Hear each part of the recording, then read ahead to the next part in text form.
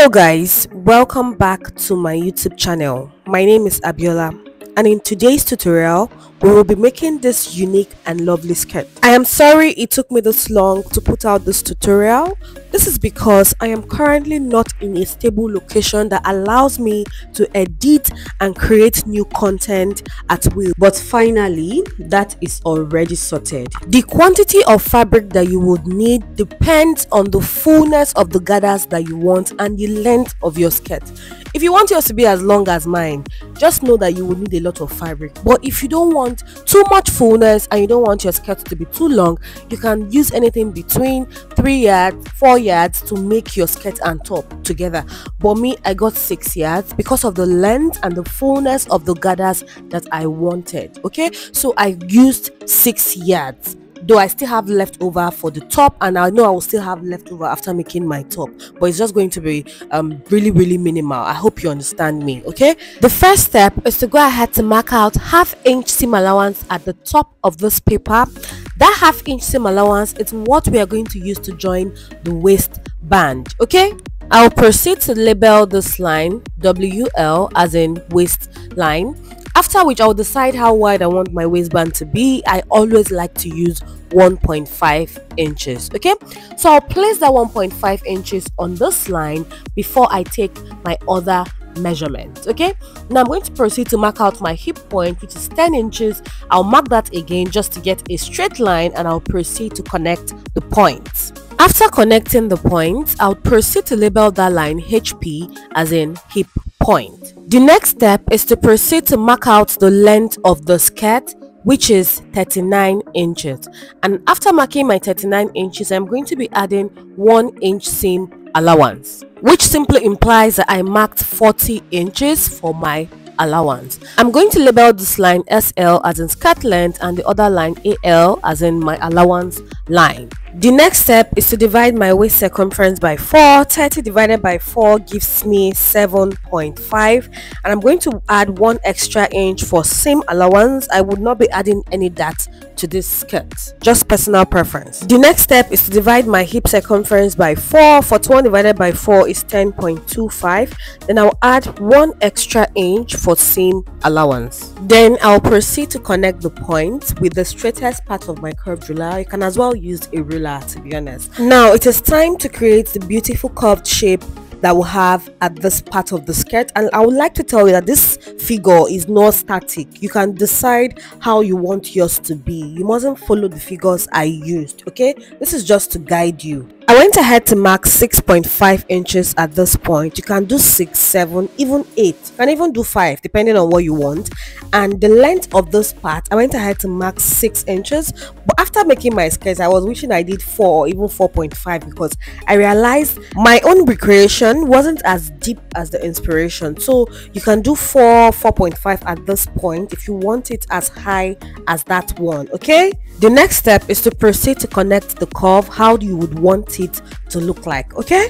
After connecting the curve i went ahead to decide how deep I wanted the curve at the side seam area to be and I chose 6.5 inches. This also depends on what you want, okay? After marking 6.5 inches, I went ahead to connect the point as shown or connect the curve as shown. For a better fit, I went ahead to come down from my waistline by half an inch and I connected that to the side seam. This just helps to get rid of excess fabric at the stomach area okay or at the waist area. So i just connected this to form a curve since our waist is you know not straight okay? The next step i took which i later realized was not really necessary was giving this skirt an a-line shape. Please just go ahead to do your normal straight skirt. Do not bother about this thing i did because while i was slashing and spreading i was asking myself what was the importance of this a-line shape i did? I was thinking if i gave this an a-line shape the gathers will have a very beautiful a-line shape but to be honest this is not really necessary. Just do your normal straight skirt. But if you want to know what i marked at the down part of the A line. I marked 15 inches, then connected from the hip to that point. Okay, After that, I proceeded to cut it out just as shown. The next step is to create the curve that is found at the hem area. From the hem, I went up by 10 inches and I marked it. From the side, I went in by 8 inches and I also marked it. Then proceeded to connect just as shown. The values are not static. You can decide how you want your own curve to be, but this is how I want mine to be. And I went ahead to connect it just as shown. I proceeded to cut it out after cutting out, the next thing we need to do is to slash and spread, okay? In order to slash and spread, I'm going to measure what I have on the hip line, which is 11.25. Since I wanted to slash and spread it into 5 equal parts, I divided that 11.25 by 5 and it gave me 2.25. I went ahead to mark 2.25 okay five times just to equally divide it into five parts. Just like i said i labeled the point one two three four five. I also went ahead to include arrows to show the direction of the slash and spread. This will make things very easy and eliminate any form of confusion okay? I went ahead to mark that 2.25 again on each point just to get a perfect straight line because we have to rule it to the hemline area okay? So after marking it again i went in with my ruler to connect the point into a straight line to the hemline okay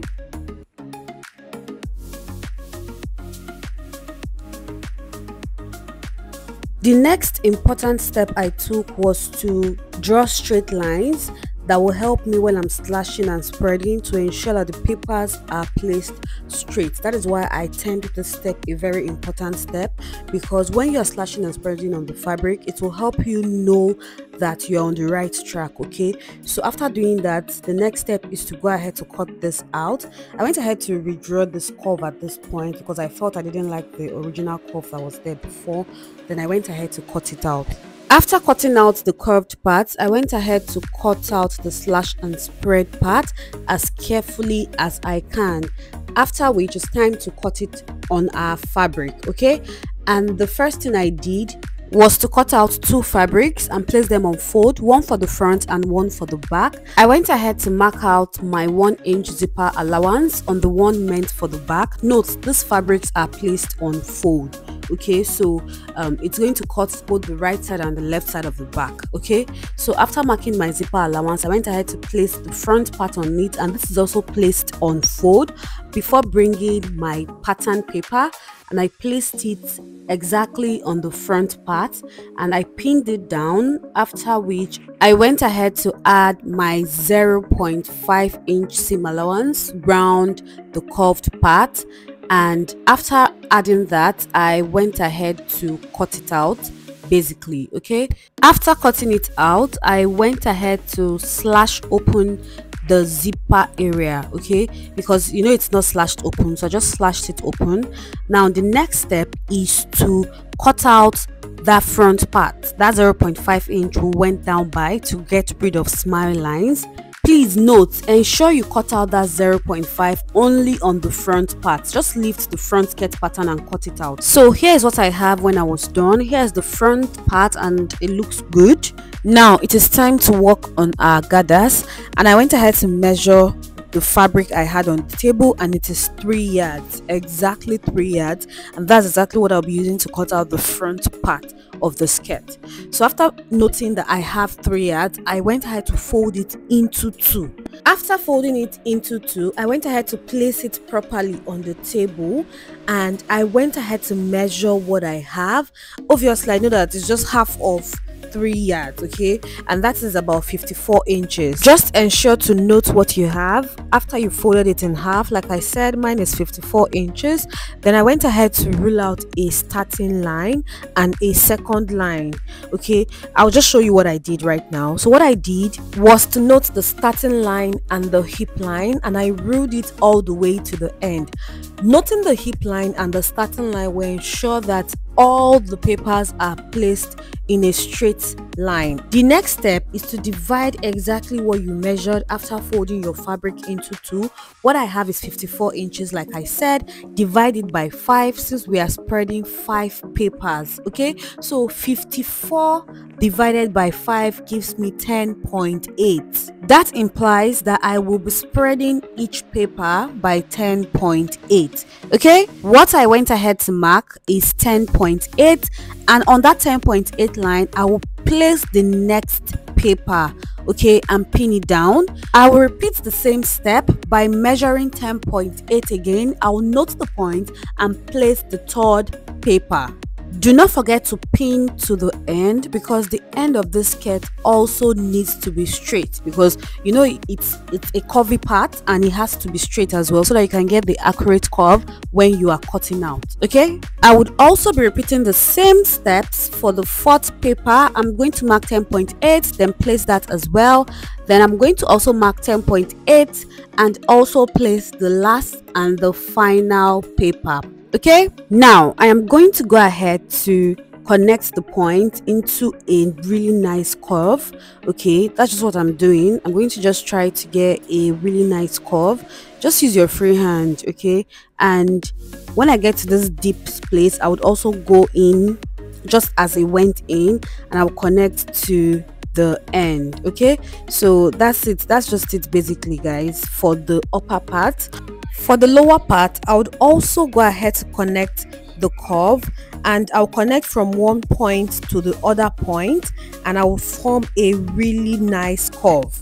After connecting the points, just like I have explained, I'll proceed to cut out with my scissors. At the top, I'm going to try to add 0.5 inch seam allowance. I also tried to be very careful when I got to the deep point. Okay, after doing that, I went ahead to cut out the down part as well. For the down part of the skirt i already added one inch hemming allowance so i didn't really need to add a lot of allowance at this point okay? So after doing that the next step is to try to cut out the back part of the skirt and i went ahead to fold three yards of fabric a little over three yards because of the zipper allowance okay? So let's just say three yards and three inches okay? That's what i went ahead to fold. Next i went ahead to mark 1.5 inches from beginning to the end okay? And this is different from the one inch i marked at the top but you understand why okay? After which i placed the front pattern that i already cut out on top of the back pattern just after the zipper allowance okay? And i went ahead to pin it down. Now it's time to also mark our zipper allowance on this gathers area okay? Because the zipper allowance is going to extend to this point the first thing I did was to mark the same one inch I marked at the top for the zipper allowance. So I marked one inch but on the hip line I marked 1.5 just to give extra space for the bum bum. That means I added extra 0.5 to 1 inch. Then I went ahead to connect it just to give that bum bum shape so that the skirt rests properly on the bum bum okay? Remember our zipper allowance is still 1 inch. The only thing I did was to add extra 0.5 to give a bum bum shape at that point. Next, I came down by 5 inches from the hip line. And I went ahead to mark 1 inch to the end okay? Because what we really need is just that one inch okay? So i would mark out and connect all the points after which i'll proceed to cut out just as shown. What you're doing is exactly tracing the front pattern on the back pattern okay the only difference is the zipper allowance. Now the next step is to proceed to form our gathers and there are different methods you can use.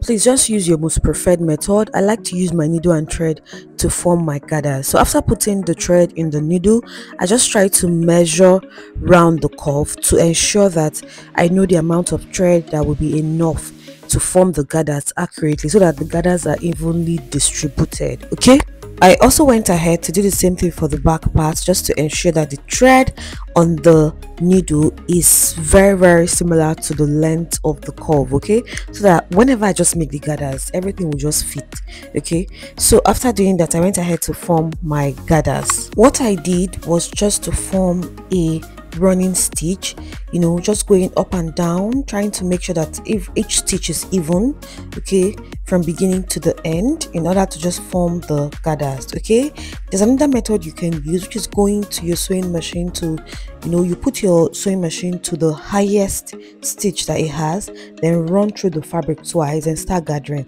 You can do that as well. I always dread that method because um, sometimes if the thread cuts you just have to start afresh. So i decided to use this because i didn't have the time you know to spend but that gives the most even gathers ever and i'm learning to love that method and be more patient with that method. I am going to go ahead to take the midpoint of my skirt and the midpoint of this gathers then pin them together okay whilst forming your gathers ensure that the seam allowance area is not gathered. Your one inch seam allowance should not be gathered. Look at this.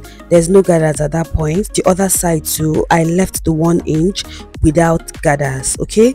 Now i have gone ahead to attach the skirt to the gathers and here is what it looks like. I also went ahead to attach the back part to the gathers as well. And here is what it looks like the two of them okay? The next step is to hold in the zipper allowance of the two of them. And i went ahead to pin them together so that that point aligns properly.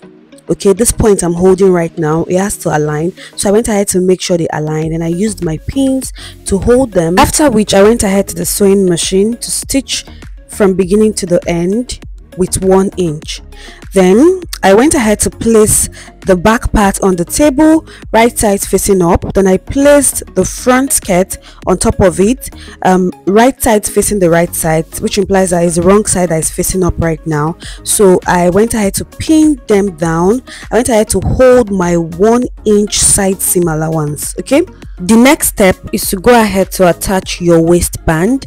I have a detailed video already where I explained how to attach this waistband.